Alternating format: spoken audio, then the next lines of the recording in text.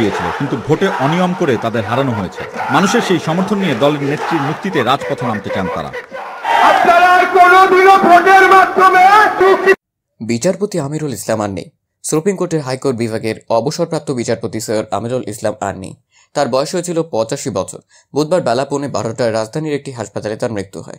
এ তথ্য নিশ্চিত করেছেন সুপ্রিম কোর্টের আপিল বিভাগের রেজিস্ট্রার মোহাম্মদ সাইফুর রহমান। বিচারপতি সৈয়দ আমিরুল ইসলাম উনিশশো চুরানব্বই সালের সাত ফেব্রুয়ারি হাইকোর্ট বিভাগের বিচারক হিসেবে নিয়োগ পান।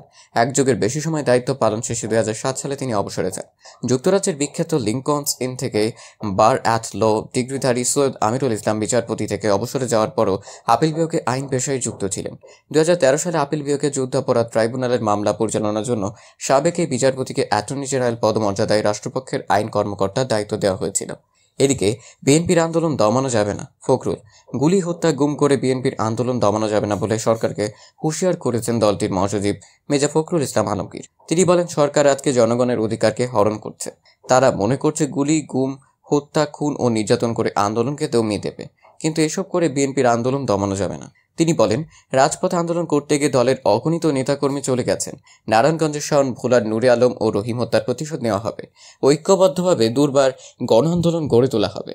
রাজপথ দখল করে ভয়াবহ আওয়ামী লীগ সরকারকে পরাজিত করে সত্যিকার অর্থে জনগণের সরকার আমরা প্রতিষ্ঠিত করবই। বৃহস্পতিবার বিকেলে রাজধানী নয়াপল্টনে বিএনপির কেন্দ্রীয় কার্যালয়ের সামনে দলটির চল্লিশতম প্রতিষ্ঠা বার্ষিকী উপলক্ষে র্যালি, পূর্ব সংক্ষিপ্ত সমাবেশে ফখরুল এসব কথা বলেন। কার্যালয়ের সামনে ট্রাকের ওপরে অস্থায়ী মঞ্চে বক্তব্য নেন তিনি। এই সময় নারায়ণগঞ্জের গুলিতে যুবদল কর্মী মোহাম্মদ শাওন নিহত ও সারা দেশে বিএনপির বিক্ষোভ সমাবেশে হামলার প্রতিবাদে দুই দিনের কর্মসূচি ঘোষণা করেন বিএনপি মহাসচিব। কর্মসূচির মধ্যে রয়েছে শুক্রবার ঢাকা সহ দেশব্যাপী জেলা ও মহানগর দলীয় কার্যালয় কালো পতাকা উত্তোলন এবং কালো ব্যাচ ধারণ। বাদজুমা নয়াপল্টন, বিএনপির কেন্দ্রীয় কার্যালয় সহ সারা দেশের জেলা ও মহানগরে গায়েবানা জানাজা এবং শনিবার ঢাকা সহ দেশব্যাপী জেলা ও মহানগরে বিক্ষোভ সমাবেশ। ঢাকা মহানগর উত্তর ও দক্ষিণ বিএনপির যৌথ উদ্যোগে র্যালির আয়োজন করা হয়। দুপুর একটা থেকে র্যালিতে যোগ দিতে কেন্দ্রীয় কার্যালয়ের সামনে সমবেত হতে শুরু করেন নেতাকর্মীরা। বড় আকৃতির জাতীয় পতাকা দলীয় পতাকার পাশাপাশি রং বেরঙের ব্যানার, ফেস্টুন সহ হাতি, ঘোড়ার গাড়ি, নানা বাদ্যযন্ত্র নিয়ে বিএনপি ও অঙ্গ সংগঠনের হাজার হাজার নেতাকর্মীরা এতে অংশ নেন। জিয়াউর রহমান, খালেদা জিয়া ও তারেক রহমানের বড় বড় প্রতিকৃতি হাতে শুভ শুভ শুভ দিন বিএনপির জন্মদিন, স্বাধীনতার ঘোষক জিয়া, লও লও লও, সালাম ইত্যাদি স্লোগান দিতে দেখা যায় কর্মী সমর্থকদের। র্যালি শুরুর আগে পুরো নয়াপল্টন সড়ক ব্যাপক মানুষের উপস্থিতিতে জনসমুদ্রে পরিণত হয়। র্যালির সম্মুখভাগ যখন নাইথাঙ্গল মোড়ে তখন মিছিলের শেষ ভাগ ছিল ফকিরাপুল মোড় পর্যন্ত। নয়াপল্টন দলের কেন্দ্রীয় কার্যালয়ের সামনে থেকে বিকেল সোয়া চারটায় শুরু করে র্যালিটি নাইথাঙ্গল মোড়, বিজয়নগর সড়ক, পল্টনের মোড় হয়ে জাতীয় প্রেস ক্লাবে গিয়ে শেষ হয়। এদিকে র্যালিকে কেন্দ্র করে দুপুর থেকে নয়াপল্টনের সড়কে যান চলাচল বন্ধ হয়ে যায়। এতে নয়াপল্টন ফকিরাপুল, মালিবাগ, বেইলি রোড, কাকরাইল, বিজয়নগর সড়কে ব্যাপক যানজটের সৃষ্টি হয়। র্যালি উপলক্ষে নয়াপল্টন সহ শান্তিনগর পর্যন্ত বিপুল সংখ্যক আইন শৃঙ্খলা বাহিনীর সদস্যদের মোতায়েন করা হয়। এমনকি র্যালির অগ্রভাগে পুলিশ সদস্যদের দেখা যায়। এজা ফখরুল বলেন, দেশবাসী এবং বর্তমান সরকারকে জানিয়ে দিতে চায় বিএনপি এখন সবচেয়ে বড় দল। যে দল প্রতিষ্ঠা করেছিলেন শহীদ রাষ্ট্রপতি জিয়াউর রহমান। এই দলকে বিকশিত করেছেন এবং জনগণের মধ্যে প্রতিষ্ঠিত করেছেন বিএনপি চেয়ারপারসন খালেদা জিয়া। তিনি এখনও গণতন্ত্রের জন্য সংগ্রাম করছেন। গণতন্ত্রের মাতা দেশনেত্রী খালেদা জিয়া এখন এই ফ্যাসিবাদী আমেরিক সরকারের মিথ্যে মামলায় অন্তরীণ অবস্থায় আছেন, অত্যন্ত অসুস্থ অবস্থায় আছেন। বর্তমান সরকার অত্যন্ত পরিকল্পিতভাবে বাংলাদেশ থেকে গণতন্ত্রকে নির্বাসিত করেছে মন্তব্য করে তিনি বলেন, খুব পরিষ্কার করে বলছি, দেশে গণতন্ত্র প্রতিষ্ঠার জন্য এই ফ্যাসিস্ট আমেরিক সরকারকে সরিয়ে সত্যিকার অর্থে একটা গণতান্ত্রিক সরকার প্রতিষ্ঠা করতে চাই। গণতন্ত্রের মাতা দেশনেত্রী খালেদা জিয়াকে মুক্তি দিতে হবে। এই সরকারকে পদত্যাগ করে একটা নিরপেক্ষ সরকারের হাতে ক্ষমতা হস্তান্তর করতে বাধ্য করব। এই সংসদকে বিলুপ্ত করে দিয়ে নতুন নির্বাচন কমিশনের মধ্য দিয়ে নতুন সংসদ গঠন করতে বাধ্য করব। নতুন সরকার নির্বাচিত করতে বাধ্য করব। এদিকে যশোরে এক রাতে বিএনপির শীর্ষ চার নেতার বাড়িতে হামলা ভাঙচুর। যশোরে এক রাতে বিএনপির শীর্ষ চার নেতার বাড়িতে হামলা ভাঙচুর করেছে দুর্বৃত্তরা। এতে কেউ হতাহত না হলেও বাড়ির জানালা সিঁড়িঘরের কাজসহ ভবন ক্ষতিগ্রস্ত হয়েছে। গতকাল শুক্রবার, মধ্যরাত থেকে আজ শনিবার ভোর পর্যন্ত মামলার ঘটনার ঘটে। ঘটে এই ঘটনার পর থেকে ওই চার নেতা ও তাদের পরিবারের সদস্যরা আতঙ্কে আছেন। বিএনপির নেতাদের সঙ্গে কথা বলে জানা যায়, গতকাল দিবাগত রাত একটা চল্লিশ মিনিটে জয় বাংলা স্লোগান দিয়ে প্রথমে যশোর জেলা বিএনপির আহ্বায়ক নার্গিস বেগমের ঘুপ এলাকার বাড়িতে হামলা চালানো হয়। এ সময় হামলাকারী ব্যক্তিরা বাড়ির বাইরে থেকে ইট ছুটতে থাকে। এতে দুই বাড়ি জানালার কাচ ও গাছের টব ভেঙে যায়। নার্গিস বেগমের ছেলে অনিন্দ ইসলাম বিএনপির খুলনা বিভাগীয় কমিটির ভারপ্রাপ্ত সাংগঠনিক সম্পাদক।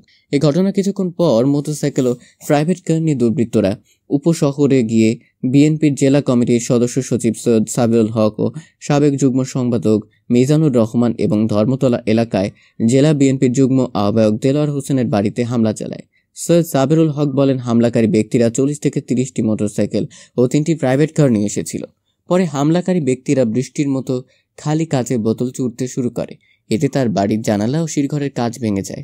এ ঘটনায় বাড়ির লোকজন হতাহত না হলেও নারী ও শিশুদের মধ্যে আতঙ্ক ছড়িয়ে পড়ে। বিএনপির খুলনা বিভাগীয় কমিটির ভারপ্রাপ্ত সাংগঠনিক সম্পাদক অনিন্দ ইসলাম অভিযোগ করে বলেন, সরকার দলের লোকজন জয় বাংলা স্লোগান দিয়ে মধ্যরাতে বিএনপির চার নেতার বাড়িতে হামলা চালিয়েছে। তাৎক্ষণিকভাবে পুলিশ সুপারকে বিষয়টি জানানো হয়েছে।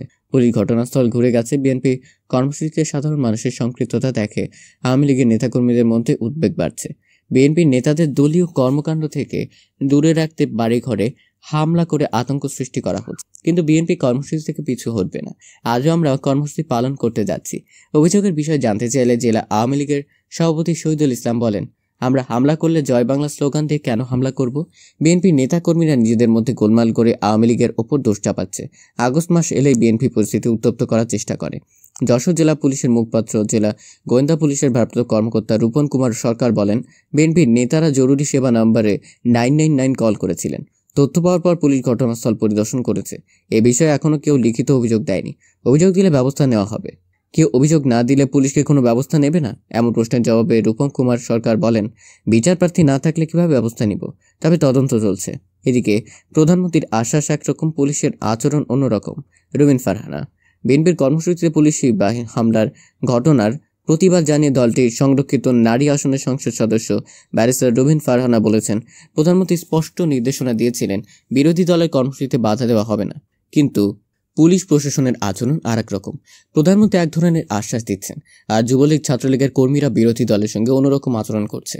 বৃহস্পতিবার জাতীয় সংসদে অনির্ধারিত আলোচনায় অংশ নিয়ে তিনি এসব কথা বলেন। বিএনপির কর্মসূচি ঠেকাতে আওয়ামী লীগ কেন মাঠে নামছে এমন প্রশ্ন রেখে রুমিন ফারহানা বলেন, আওয়ামী লীগ বলছে নাশকতা ঠেকাতে তারা মাঠে আছে। নাশকতা ঠেকানোর জন্য আওয়ামী লীগের নেতাকর্মীদের মাঠে থাকতে হলে পুলিশ প্রশাসন পুষে লাভ কি? তিনি বলেন, সরকার দাবি করে দেশে গণতন্ত্র আছে। আমি যদি তর্কের খাতিরে ধরেই নিই দেশে গণতন্ত্র আছে, তাহলে প্রশ্ন করি, এত ভয় কেন? বিরোধী দল বিক্ষোভ কর্মসূচি করছে, শান্তিপূর্ণ কর্মসূচি করছে, মিছিল করছে, সেটা আমাদের সাংবিধানিক অধিকার। সেইটুকু সহ্য করবার সাহস ও মুরত যদি না থাকে, রাজনীতি ছেড়ে দেন। পুলিশ প্রশাসন দিয়ে আর কয়দিন রাজনীতি করবেন? বিরোধী দলকে দমন করে আর কয়দিন রাজনীতি করবেন?